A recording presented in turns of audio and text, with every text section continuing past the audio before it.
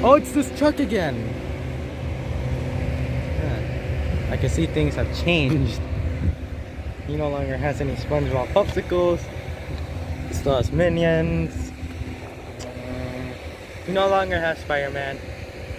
Ah, he kept this movies too. There is a music box. I can see these. Better be careful for any cars. Let's see if anything changed in the back. Oh, at Splendid Dot sticker is no longer there. Uh, okay, and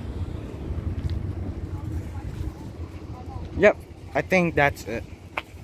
Oh, I just get a bit further.